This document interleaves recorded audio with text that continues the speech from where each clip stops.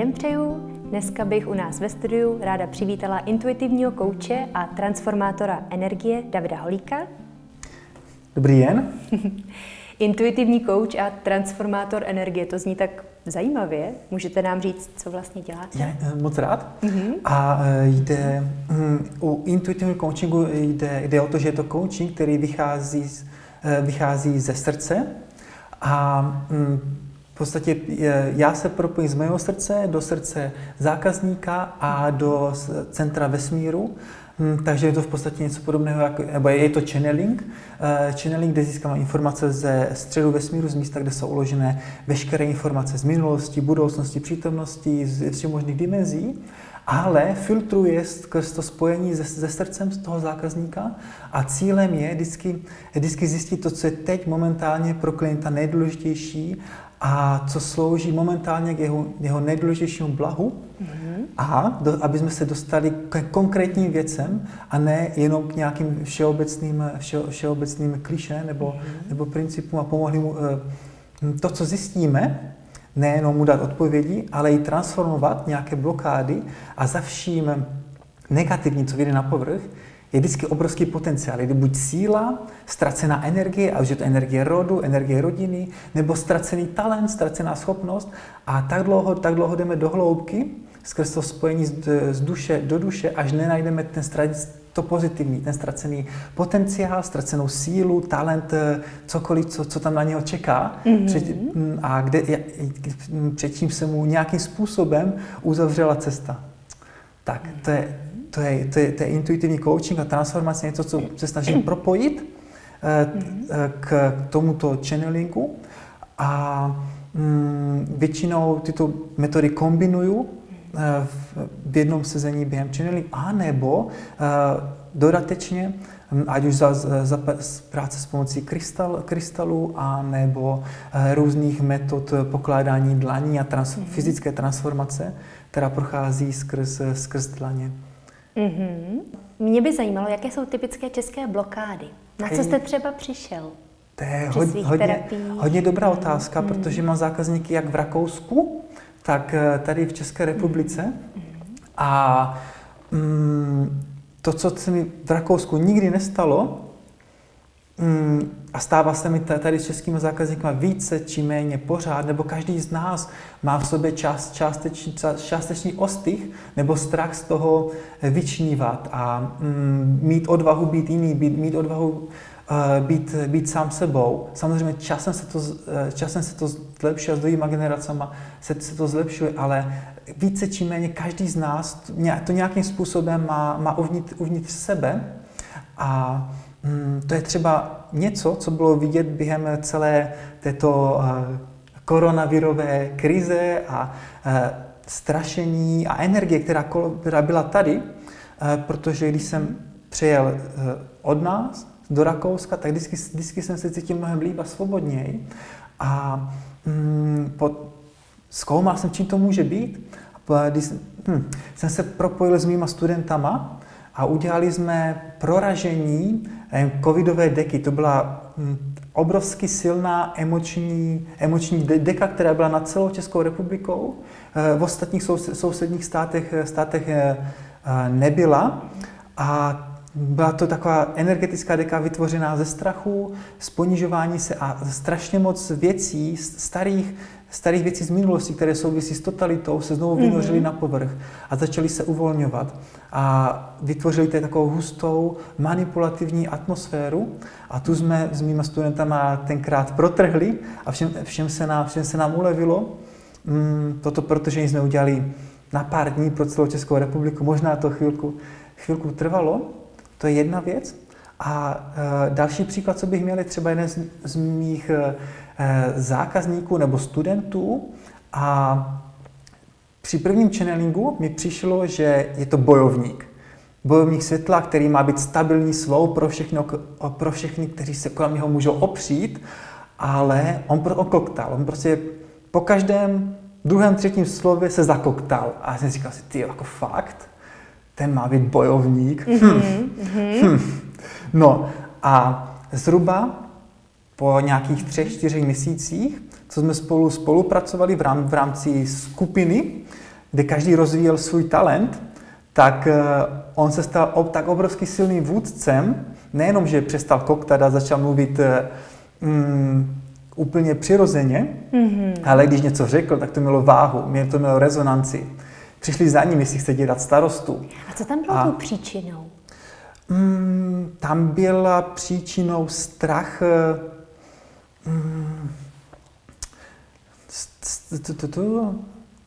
strach jeho otce mm-hmm. z toho být jiný a ještě zatím bylo, uh, bylo něco z, od jeho dědy, uh, kterému za komunismu byl zebraný majetek a jeho sny. Mm-hmm. A... Takže to bylo jako rodovýho, ještě mm-hmm. dá se říct? Aha, mm-hmm. aha. Zajímavý. a nějaké další příklady máte? Třeba typických českých bloků? Mm-hmm. A například strach z autorit. A jeden z mojich zákazníků v podstatě částečně proti jeho vůli jeho otec mu postavil dům na svém vlastním pozemku a naplánoval mu celý život prostě. Bude žít tam, kde mu určí, tam mu postaví dům tak, jak on mu ho postaví a prostě bude poslouchat a bude spokojený a mm. on se rozhodl, bude dělat všechno, všechno nejlepší, co je pro něho správné. Ale mu z toho bylo špatně. Mm-hmm. A e, chvilku to trvalo, než našel odvahu e, mu to říct, že tam prostě být nechce, protože ten dům už byl postavený. A nakonec e, tu odvahu našel, sice tatík to obrečel, ale on zase, ten tatík, dostal, dostal možnost mm, obrátit pozornost sám na sebe a místo toho, aby pomáhal druhým, pomoct sám sobě a aby, aby nalezl mm, smysl života sám v sobě, ne v pomáhání, v pomáhání druhým. Takže v podstatě tady do tohoto mm, a zákazníka to byl dar tomuto tchánovi.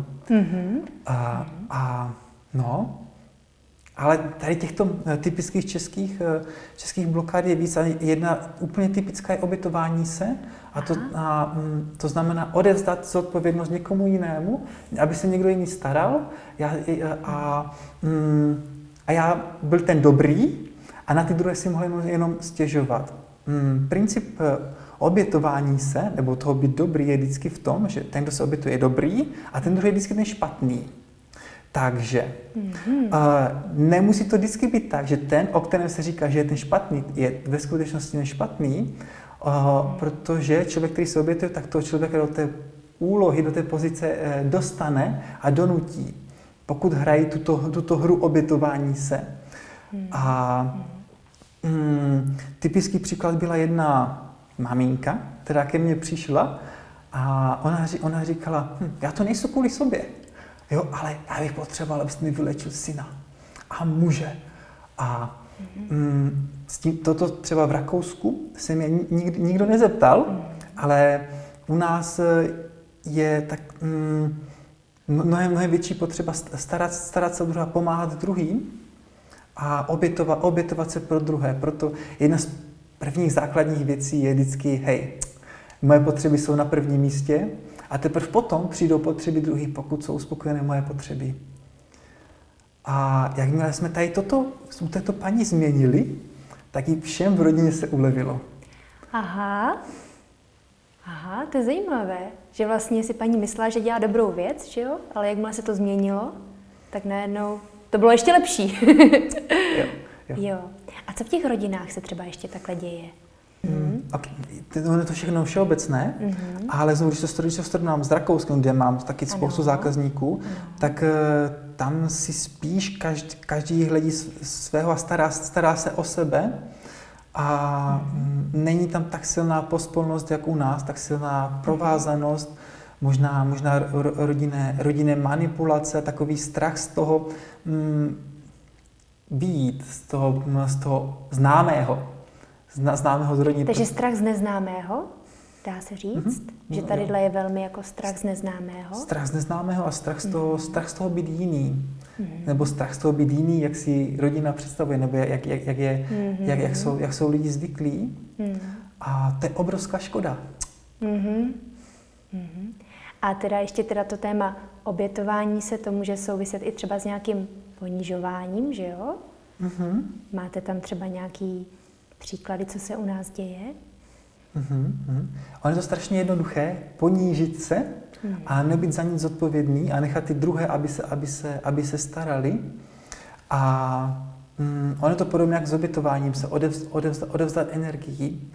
A, a mm, hm, ale je to, ale je to strašně podobné, ponižování a obětování se. Eh, vždycky jde o to dosáhnout rovno, energetické rovnováhy, aby člověk byl všichni, každý, každý člověk byl na stejné, na stejné úrovni. A hm, když není na stejné úrovni, tak eh, je, právě když je jeden, jeden ponížený, mm. tak to souvisí s manipulací. Eh, a když někdo někoho ponižuje, tak je to většinou proto, že hm, od něho třeba bere energii. Mm, nebo on sám má málo a potřebuje si vyrovnat, tak si najde někoho slabšího, to poníží, veme mu energii. A to, to probíhá tak dlouho, dokud eh, tomu, koho ponižuje, nezebere všechnu energii, kterou potřebuje. A je strašně složité se vypoutat z manipulace, Protože jakmile člověk to spadne, tak se aktivují všechny rodinné, společenské předsudky, eh, všechny, mm, všechny způsoby chování a všechno vyjde na povrch. Mm-hmm. A člověk má tyto věci v sobě zakořeněné už od malička a to jsou typické věty. Někdo něco řekne a už člověk ví, co odpoví a ten, co se ptá, už ví, co odpoví a takto, takto ty univerzální větičky jdou sem tam, sem tam, sem tam. Eh, je to v podstatě rozhovor eh, bez nějakého obsahu, je, je, jenom, jenom jde o to mm, získat energii toho druhého na svoji stranu nebo dostat se výš. A, a hm, jedna strana je ten, kdo je manipulovaný, tak přichází o energii a ten, kdo manipuluje, mm-hmm. tak blokuje svůj vlastní rozvoj, protože pro svůj rozvoj potřebuje energii druhého Aha. a svoji inspiraci a rozvoj nehledá sám v sobě, ale venku.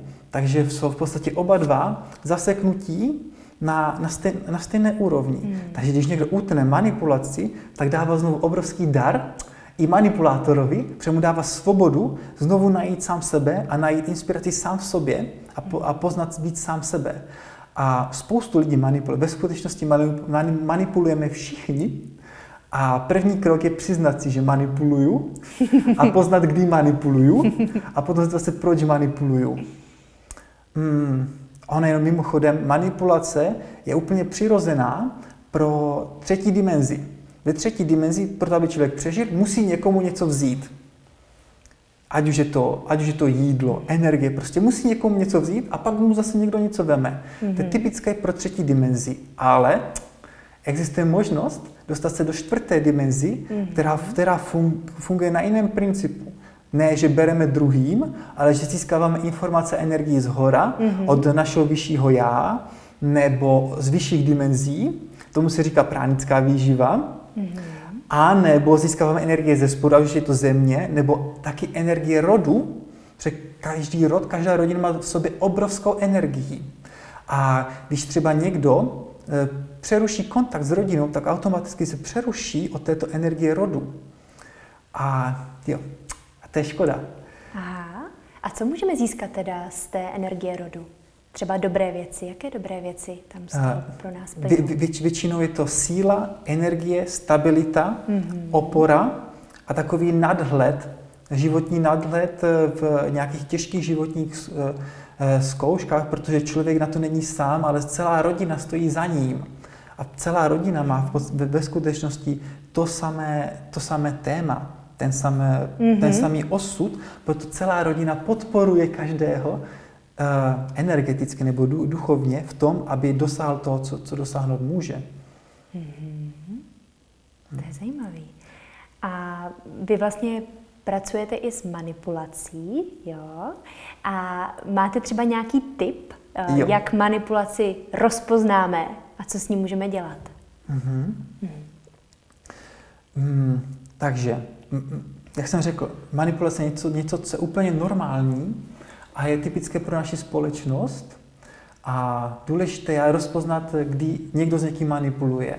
A to poznáte, když cítíte, že ztrácíte energii a nejste schopni racionálně rozhodovat a mm, nebo změnit, změnit názor, nebo e, říct mm, svůj názor, který třeba se neshoduje s tím, kdo, kdo s vámi manipuluje. Prostě nemůžete. Musíte tomu, druhé, tomu druhému říkat to, co on chce slyšet.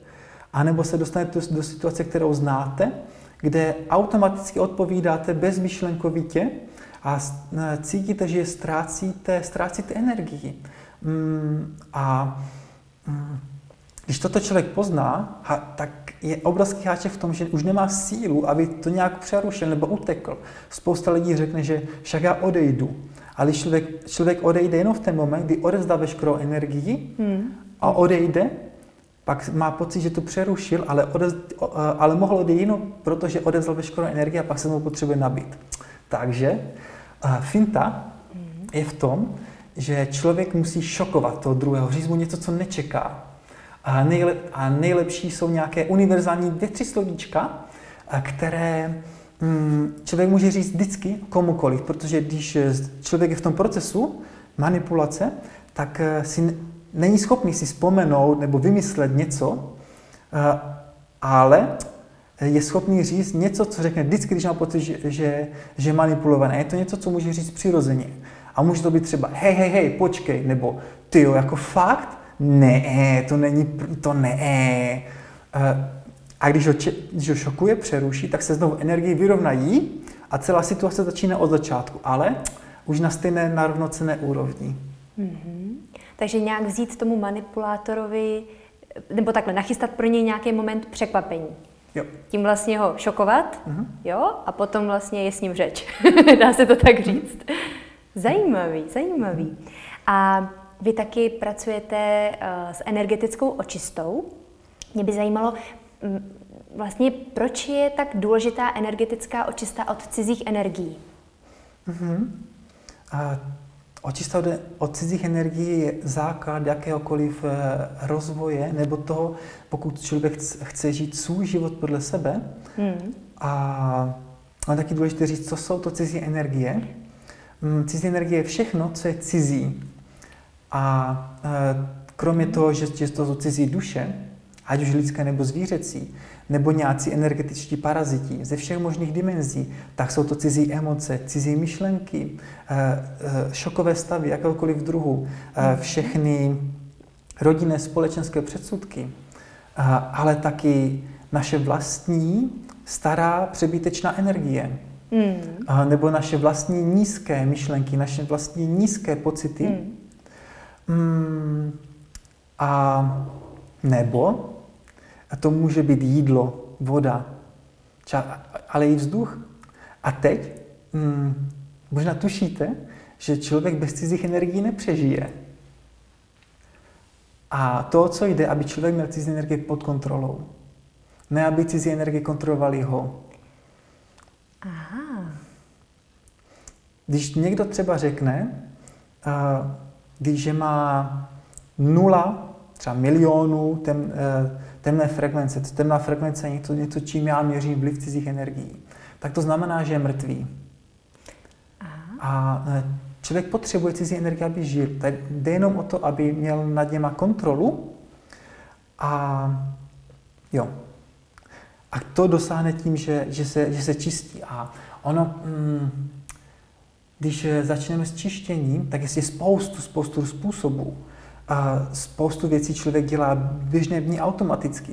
Eh, třeba sport je nějaký základní způsob čištění povrchové vrstvy, kde člověk eh, uvolní nazbírané emoce, myšlenky, pročistí se, hmm. protože člověk je stavený k tomu, aby se hýbal hmm. a každý člověk je stavěný na to, aby třeba každý den uběhl 10-15 kilometrů. Mm, a tím se energie začne volně proudit a člověk se začne volně čistit. Člověk, člověk hmm. jako sám za sebe se čistí automaticky, hmm. Mm, třeba v přírodě, což dřív byl přirozený stav. Když teďka žijeme ve městě, tak jsme tady toto nabourali. Navíc máme všude, všude kolem se strašně moc elektrosmogu, Wi-Fi a tak. Takže pokud člověk půjde do přírody, někde si najde místo, kde není elektrosmog, není Wi-Fi, tak taky se už částečně čistí. Hmm, takže to jsou takové no, samočistící mechanismy. To, Sport teda, jo? Hmm, to, a to jsou takové, příroda. takové základní, hmm. které, které každý zná.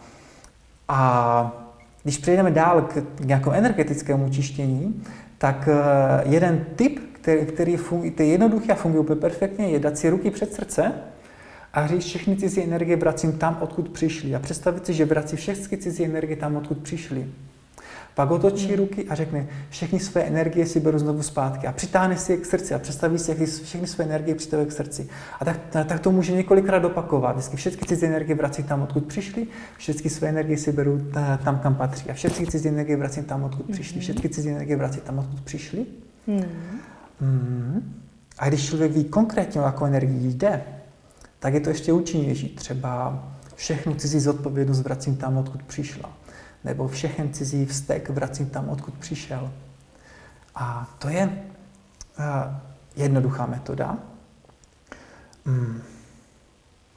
Další, co mám pro vás připravenou, je hmm, trošku zábavnější. A ono, ono jde o to, že všechny cizí temné energie, cizí duše na každého se může dostat jenom skrz vlastní slabosti. Takže ve skutečnosti to, co my žijeme, je dualita, kde máme světlo, které nás podporuje, motivuje, a pak máme temnotu, která nám ukazuje naše slabosti. Hmm. Takže můžeme milovat obě dvě a být vděční obou dvou, hlavně být vděční temnotě za to, že nám ukazuje naše slabosti. A když člověk přijde na to, skrz kterou slabost se k nám třeba, ať už je to ty cizí energie, cizí duše, cokoliv dostalo, a to vyřeší tu slabost, tak ty energie odejdou. Protože už se nemůžou napojit skrz tu slabost, protože ta slabost už je vyřešená. Mm-hmm. Mm, a jo, to je, to je proces, který uh, je potřeba, aby člověk se uklidnil a teď si prošel situaci. Mm, když se mi, uh, když se mi udělalo nejhůř, když se mi přitížilo, co zatím, koho jsem potkal, co jsem mu měl, co jsem mu měl, měla říct a neřekl, neřekla. Mm-hmm. V duchu si to vrátit a říct to a počkat vyřešit se, nevyřeší se to. A jít do hloubky, až jít do hloubky. Je to trošku náročnější práce, ale strašně zábavná. A poslední metoda, kterou mám připravenou, tak je očista pomocí božského blesku a je to něco, co je strašně rychle efektivní. Pomůže to odstranit základní cizí uh, energie, ať jsou to poc- uh, nějaké pocity, emoce, uh, nějaké předsudky a mm, funguje to tak, jestli člověk představí, že do místa metra půl nad jeho hlavou, kde je nejvyšší bod jeho energetického pole, nebo eh, nejvyšší bod aury, udeří modrofialový blesk. Pám. A jak udeří, tak z jeho energetické temné pole rozletí na dvě půlky. 2 až 4 metry po levé a po pravé ruce. Mm-hmm. Důležité, aby to bylo 2 až 4 metry, protože to znamená, že je to mimo jeho energetického pole. Ona aura má průměr 3 metry. A to prostě, to, to, to musí být mimo. A jak se to rozletí, tak tím se, tím se pročistí, ale ty temné půlky zůstanou na obou dvou stranách a ty ještě začne pálit fialovým ohněm, dokud, dokud nezmizí. A takto se člověk pročistí. Hmm. Uděláme to teďka? Chcete takový jako cvičení pro diváky uvést? Teda? Může, jestli můžeme. On, on je to strašně rychle, to trvá možná dvě, tři minuty. Mm-hmm. Dobrá, akorát se nemůžete zdvihat teď z místa. Ne, ne, ne, ne, ne, ne. jo, dobře. tak jo, jo. Uvolní se a koncentruj se na svůj dech, nádech, výdech, na svoje tělo, jak fyzické, tak energetické. A teď se soustředí na místo metra půl nad tvojí hlavou. A je to, to, toto místo je nejvyšší bod tvého energetického pole, nejvyšší bod tvojí aury. Soustřed na toto místo. A teď si představ, že do toho místo udeří modrofialový božský blesk. Teď! A teď znovu nech udeří do toho místa modrofialový blesk. Teď! A čím intenzivnější představíš úder tohoto blesku, tím silněji se rozrazí obě dvě, obě dvě temné půlky na obě dvě strany. A je důležité, aby tento blesk měl razanci, měl sílu. Čím silnější bude, tím více rozletí má, je důležité, aby měl sílu a razance. Čím silnější bude, o to silnější posedlosti a temnou energii můžeš, můžeš uvolnit ze svého těla. Proto teď se znovu soustředit na nejvyšší bod tvého energetického pole, který se nachází metra půl na tvoji hlavu a nech do něho teď udeřit. Modrofialový blesk. Teď! A nech teď rozletět obě dvě půlky, 2-4 metry napravo a nalevo. A teď zkontroluj, jak vypadá tvoje energetické pole. Je protištěné? A teď možná vidíš, 2-4 metry nalevo a napravo. temnou půlku z tvého energetického pole. A teď začni tuto, tyto obě dvě temné půlky pálit fialovým ohněm. A palí tak dlouho, dokud nezmizí, dokud kompletně nezmizí, dokud je kompletně nepohltí země, která tuto energii veme jako potenciál a transformuje znovu, znovu na něco živého. A jakmile spálíš obě dvě tyto temné půlky, jsi pročištěná od, eh, a pročištěný od eh, cizích energií v tvém energetickém a fyzickém těle. Děkuji. Děkujeme. A já budu mít další otázku.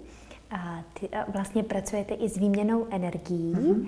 a jestli jsem správně pochopila, tahle terapie je třeba velmi dobrá pro někoho, kdo bral drogy nebo hodně léků nebo trpěl mm-hmm. depresemi. Můžete nám o tom něco říct víc? Mm, rád. Mm-hmm. Uh, ono, mm, každý, kdo měl fázi, kdy, kdy, kdy prožil nějakou delší depresi, mm-hmm. tak uh, nahrál do svého energetického těla strašně nízkou frekvenci a ta, ta, ta je potom blokující. Něco podobného je pro lidi, kteří brali drogy, tam počítám, počítám i alkohol a, a léky. Mm, a hm, háček je v tom, že drogy jaké, jakékoliv typu otevírají energetické pole. Eh, takže zboří automat, eh, jakoukoliv, jakoukoliv energetickou ochranu a všechno cizí, a že to temné, manipulativní, staré, nepotřebné, prostě může přijít. A čím díl člověk takto funguje, tak tím víc cizích věcí takto, na, takto v sobě má. A kromě toho, že má v sobě cizí energie, tak zároveň má obrovský oslabuje celou svoji eh, mm, energetickou schránku. A e, výměna energie je strašně efektivní v tom, že on se dá stará opotřebovaná energie vyměnit za novou. Mm, a to je něco, co, probí, co funguje na, na tom principu, že e, se člověk napojí, to v tom, to jako terapeut se napojí, v tomto případě třeba já se napojím na milovaný zdroj všeho bytí, z tohoto zdroje nechám skrz sebe proudit e, mm, bezpodmínečnou lásku a skrz eh, svoje dlaně ji posílám do eh, fyzického těla zákazníka. A jakmile nabiju a, aktiv, aktivuju srdce, touto bezpečnou lásku, začínám tuto bezpečnou lásku stahovat dolů a procházet celé tělo, a až eh, projdeme celé tělo a tato energie bezpečné lásky nahradí starou opotřebovanou energii. Mm, a tady, tato terapie se provádí zhruba třikrát až pětkrát podle toho, jak se nám to rychle podaří to obnovit, zhruba na nějakých 90-95%. A je to něco, co dá člověku takovou tlustou čáru za minulostí a schopnost začít, začít znovu a hlavně pročistit se, mm-hmm. protože jakmile pročistíme energetické tělo, tak se začne čistit fyzické, protože fyzické tělo kopíruje energetické tělo. Mm. Možná můžete vyzkoušet něco podobného, že poprosíte vašeho spirituálního průvodce a nebo pleadickou bytost. Každý má svou pleadickou bytost. Když, když znáte jméno, ještě lepší. A řekněte mu, moje, moje milá pleadická bytost, prosím tě, propoj se s, nej, s milovaným zdrojem všeho bytí, nech skrz tebe proudit eh, bezpodmínečnou lásku do mého srdce a až eh, bude moje srdce aktivované na optimální stav, eh, začni stahovat tuto energii přes celé moje tělo až ke kotníkům. A jeden směr je stahovat s eh, prsou od srdce dolů až ke kotníkům, další je od srdce skrz ruky až po dlaně a potom to samé, to, to, to samé ze zadu z druhé strany. A mhm. všechno toto můžete opakovat třikrát až pětkrát podle vlastní intuice, pocitu, kolikrát ještě budete potřebovat. Hm. Mm-hmm. Jo. Tak, možná to bude trošku vlastní experiment sám ze sebou, ale mělo by to fungovat. Vy vlastně říkáte, že by se měl vést naplněný život místo pohodlného. Co, co je pro vás ten pohodlný život? Co tím myslíte? Hm. Ono je to většinou tak, že mm. člověk se otevře něčemu spirituálnímu, teď má nějaký zážitek, něco vyřeší a ty řekl, wow, teď jsou osvícený a všecko vím, všecko znám a už nic nemusím dělat. A, mm, a teď jenom čekám na to, až, až prostě ostatní budou tak daleko, jak já a všichni se spasíme, nebo všechno už bude samostatné, jenomže to tak nefunguje. Mm-hmm. A ono ve skutečnosti spiritualita pro mě znamená mm, osobní rozvoj a být, být upřímný a mm, dělat nepříjemné věci, které jsou správné. E, mít svoje hodnoty a res, respektovat, respektovat své hodnoty, i když je to nepříjemné. To znamená říkat nepříjemné věci. Hmm. E, když člověk e, něco cítí, tak říct kritiku. Kritiz, kritizovat druhé může znít špatně, ale ve skutečnosti je to dar. A jde o to kritizovat s láskou dát dar tomu druhému, aby rozpoznal svůj skrytý potenciál, aby se mohl dál rozvíjet. A když někdo tomu druhému neřekne, co každý vidí, a to máme v rodinách, každý si, každý si stěžuje, ale nikdo nemá tu odvahu říct tomu člověku pravdu do očí. Namísto toho ho pomlouvají a kritizují všude možně. A pro mě spiritualita je přesný opak nekritizovat nikoho s nikým ostatním, mm. ale říct mu tuto kritiku opravdu přímo do očí. A to je těžké, protože ten druhý člověk to nemusí přijmout. Ale to už je jeho rozhodnutí. Ale vy nebo ty, ty mu dáváš člověku dar. Nebo dáte člověkovi dar, aby se mohl rozvíjet. Dáte mu informaci, kterou on potřebuje slyšet. I když je nepříjemná, ale je ve skutečnosti obrovský, obrovský dar. A pokud ji nepřijme, tak, eh, tak může to být taky v pohodě, protože hm, vadí ti to? Hm, máš problém. No. A jestli ti to vadí, tak to vadí možná proto, že je to pravda. Hm? A každému vadí jenom něco, co souvisí s ním samotným. Takže když to někomu vadí, co člověk řekne, je to jenom potvrzení toho, že má pravdu. A o, to, o tom je skutečná spiritualita, o rozvoji. Mm. A takový život je nepohodlný. Mm-hmm. Zajímavý. A jak poznáte intuici od myšlenky? Ha, to je perfektní otázka. Protože na seminářích mm, dělám eh, práci s intuicí, channeling, reading a mm, tam dělám takové cvičení, že máme eh, dvě nebo tři barvičky v obálkách a teď zvednu obálku a teď, je, teď studenti, eh, bez toho, aby viděli, jaká barva v obálce je, tak intuitivně mají, maj, eh, mají napsat, jaká, jaká je tam barva. A takto se učíme rozpoznat myšlenku, emoci a intuici. Zajímavé je, že když člověk poslouchá myšlenku, tak většinou odpoví špatně. Když poslouchá intuici, odpoví správně. A ona myšlenka vychází z hlavy, z nějakých předsudků, mm-hmm. zkušeností, mm-hmm. zatímco intuice vychází ze srdce. Mm-hmm. Intuice nikdy nic nevysvětluje, nikdy neříká odpovědi, intuice je stručná, jasná, intuice řekne běž doleva a teď, teď řeknu hej, proč doleva? Tam, tam, je, tam, je, tam se mi to nelíbí, intuice běž doleva. A, a myšlenka, No a možná bychom měli jít vpravo, tam je to pohodlnější, tam, eh, tam dívej, tam, tam potkáš mnohem zajímavější lidi, tam to znáš a intuice, běž doleva. A, a ty znovu, intuice, prosím tě, řekni mi, proč mám jít doleva? To nedává smysl, proč mám jít doleva? Běž doleva. Intuice nic nevysvětluje a je jasná, stručná. Zatímco mm-hmm. myšlenka vysvětluje a většinou z toho výmluví. Takže myšlenka vysvětluje, běž doprava, protože tam, já nevím, je to lepší, pohodlnější a tak dále. A intuice říká jasně, stručně. Ono to jde, ono to jde cítit. Hmm. Uh, jestli ta informace vychází hmm. z hlavy hmm. nebo ze srdce. Hmm. A um, taky to jde vidět na druhých. A to je ještě zajímavější. Třeba pozorovat druhé a teď pozorovat, kdy mluví ze srdce, kdy mluví z hlavy. Protože když člověk mluví z hlavy, tak ta informace má minimální hodnotu. Zatímco když mluví ze srdce, to má, má to obrovskou váhu a obrovský význam. A to třeba taky děláme na seminářích, že se učíme poznávat, kdo, kdo mluví ze, z hlavy, ze srdce, nebo taky ze zkušeností. To je něco, co se často uh, plete s intuicí. On se říká v Němčině Bauchgefühl. A to je pocit, který vychází z břicha. uh, takový m, nějaký odhad, který mají třeba experti ve svém oboru, něco, co nedává absolutně žádný smysl, tak ten expert řekne, ty jo, já, já tam něco čuchám, to nebude dobré.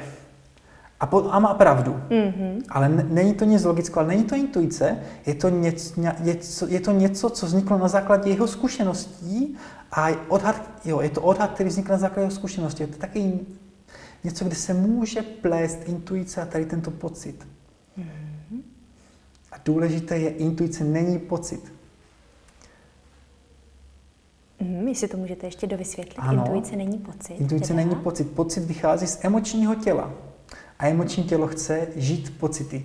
Chce žít radost, ale taky chce prožívat utrpení, chce prožívat strach. Emoční tělo chce prožívat za každou cenu nějaký pocit. A to nemusí být vždycky pozitivní. A mm, rozlišit to jde tím, že intuice, jak jsem říkal, se, nikdy, e, se vždycky opakuje.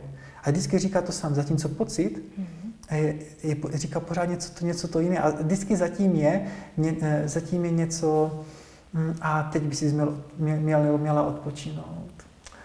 Je tam určitá pohodlnost. Mm-hmm. Dobrá, dobrá. A vy jste vlastně teda i transformátor té energie. Mě by zajímalo, jak se dokážou transformovat předsudky. Hmm. Předsudky a jsou složitější, protože většinou, většinou je to něco, co souvisí ať už se společností nebo s rodinou. A není to něco, co, co má člověk sám pro sebe, ale je to většinou z nějakého kolektivu. A u předsudku vždycky jde o to e, zjistit příčinu a vyřešit, vyřešit příčinu a z té příčiny znovu, když člověk vyřeší, vzít si z ní energii, vzít si z ní potenciál. A třeba takový typický předsudek, rodinný předsudek, který tady máme, většina z nás má zakořeněný, vzhledem, vzhledem k tomu, že byla první světová válka 1918, za 20 roku byla druhá světová válka, za dalších 20 roků eh, přišla okupace a tak dále. Prostě každých 20 roků přišel nějaký boj nebo okupace, proto eh, může většina, nebo hodně lidí z nás má zakořeněný předsudek v rodinách, život je boj.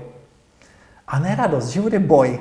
A člověk musí bojovat a nemůže mít radost. A e, tento předsudek je správný v, do, v, v extrémních situacích. A to válka je extrémní situace a tam je, a je opodstatněný a je prospěšný. Problém je, mm-hmm. že ta extrémní situace pomíne a teď ti lidi dál žijou ty, tyto předsudky.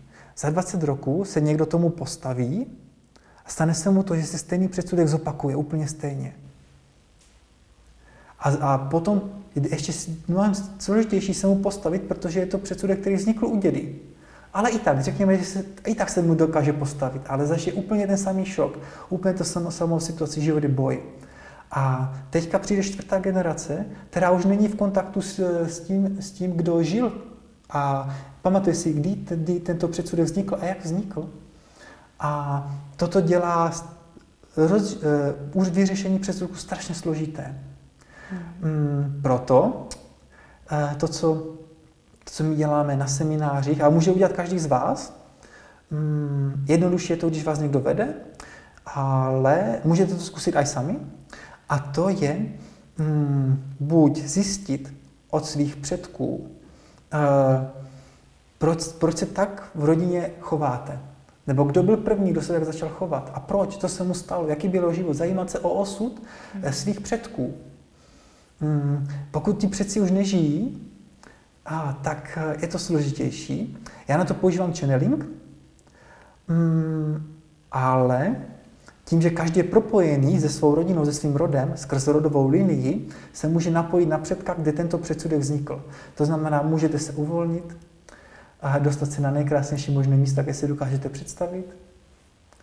A potom a, vydýchejte veškeré předsudky, veškeré očekávání. Takže s nádechem dýcháte světlo a s každým výdechem vydechnete očekávání, veškeré předsudky. Aby se pročistili a byli absolutně neutrální.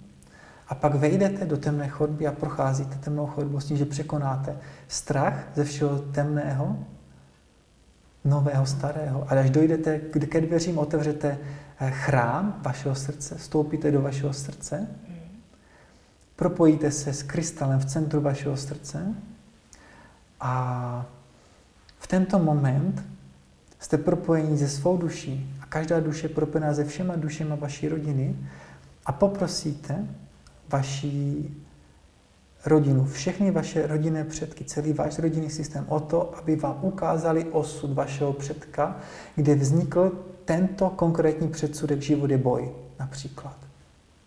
A čekáte, co uvidíte, co ucítíte, mm, co ucítíte třeba nosem, co uslyšíte, jakákoliv informace je důležitá. A teď jenom necháte na sebe působit vlivy a propojíte se s tímto předkem a cítíte jeho pocity, a může to být zoufalství, může to být ztráta smyslu života. A cítíte všechny tyto jeho pocity. A pokud se s ním propojíte, hmm. tak uh, jste se vrátili do této situace, jste se dostali do situace tohoto předka. Není důležité, kolik je to generací, jak je to rok. Je důležité, abyste se s ním propojili a stotožnili se s ním skrz rodovou linii. A potom Eh, můžete začat transformovat, změnit, zjistit, co tento člověk potřebuje, co mu chybělo. Byla to odvaha? Odvaha postavit se? Nebo odvaha, odvaha eh, bojovat za své, za své hodnoty, i když to znamená zemřít? A nebo to byl šok, který nedokázal překonat? Tak buď mu poslal druhou, pokud odvaha.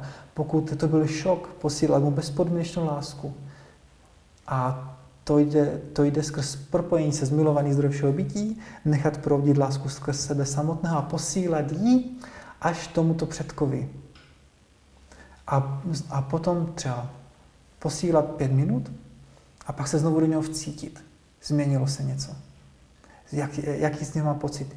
Už má sílu, aby, mm, aby třeba šel a bojoval, i když to znamená zemřít. Ale zachová si své hodnoty. Hmm.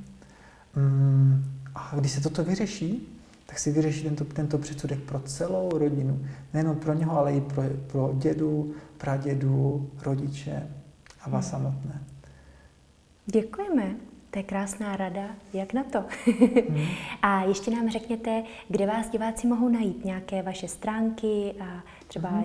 nějaké vaše kurzy? Je, je. Uh, můžete mě najít na webových stránkách davidholik.net a e, moji praxi máme ve Zlíně. Um, pokud byste měli zájem, můžeme se domluvit i na online, na online sezení a plus pořádám cestovatelské přednášky o intuitivním cestování.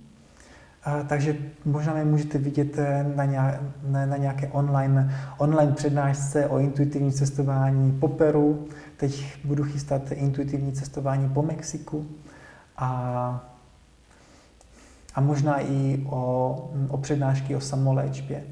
A, takže pokud se dostanete na webové stránky, tak tam najdete všechny, všechny odkazy, informace na kalendář. A pokud byste mi eh, důvěřovali, tak eh, vám budu strašně, strašně moc vděčný. Tak my vám moc krát děkujeme, že jste k nám dorazil, vlastně až ze Zlína, že jo? a ať se vám ve všem daří. Děkujeme. Strašně moc děkuju. Vám taky.